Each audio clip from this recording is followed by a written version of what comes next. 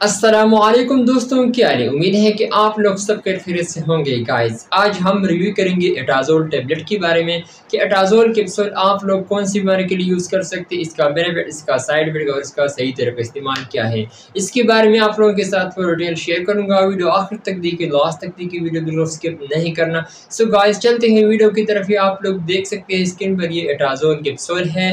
और ये सौ एम जी कैप्सूल है और ये शाहीन फार्मा की है। शाहीन फार्मास्यूटिकल ने बनाई हुई है और इसका कंपोजिशन फार्मूला है एट्रोगोनाजोल इसमें आप लोगों को मुख्तलिफ़ कंपनियों का मुख्तलिफ़ नामों के साथ मिल सकता है, लेकिन आज हम रिव्यू करेंगे एटाजोल कैप्सूल के बारे में।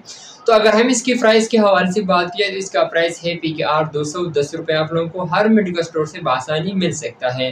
तो अगर हम इसके यूज़ के हवाले से बात किया तो ये आप लोग पंगल इन्फेक्शन के लिए इस्तेमाल कर सकते क्योंकि एंटी पंगल है।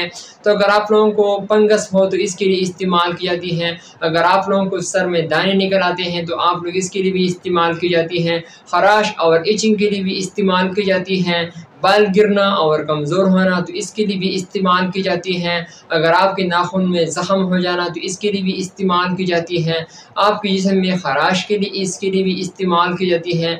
और औरतों में विजनल इन्फेक्शन के लिए भी इस्तेमाल की जाती है। जब बाज़ अवत औरतों विजनल में कोई इन्फेक्शन पैदा होता है तो इसके लिए भी इस्तेमाल की जाती है। डॉक्टर भी रिकमेंड करता है। मैंने आप लोगों को बताया अगर आप लोगों को हराश हो या बाल गिरना, कमज़ोर हो जाना या फिर आप लोगों को सर में दाने निकल आते हैं तो इसके लिए भी इस्तेमाल की जाती है। बहुत ही ज़बरदस्त कैप्सूल है। अगर आप लोगों को बहुत से एंटीबायोटिक इस्तेमाल की है और फिर वो काम नहीं करता तो आप लोग एट्रोको नज़र इस्तेमाल करें। तो अगर आप लोगों को कोई भी दाना हो या सर में हो या फिर चाहे वो जिसम के हर जगह पे हो तो उसका बिल्कुल ख़त्म हो जाएगा तो आप लोग इसके लिए इस्तेमाल कर सकते हैं। तो अगर हम इसके साइड इफ़ेक्ट के हवाले से बात की तो आप लोगों को डिजनेस भी हो सकती है वोमिटिंग हो सकती है नाजिया हो सकती है और स्टमक पेन भी हो सकता है।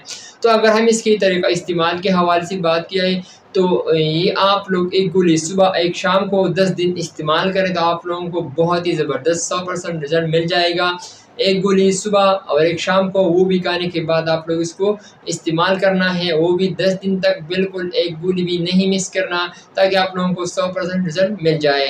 तो ये था मेरा आज का वीडियो। उम्मीद उम्मीद करता हूँ कि आप लोगों को पसंद आए अगर वीडियो पसंद आए इस वीडियो को लाइक भी करें कमेंट्स भी करें। इन इस वीडियो फिर हाजिर होंगे। आप लोग जहाँ खुश रहे। So thank you for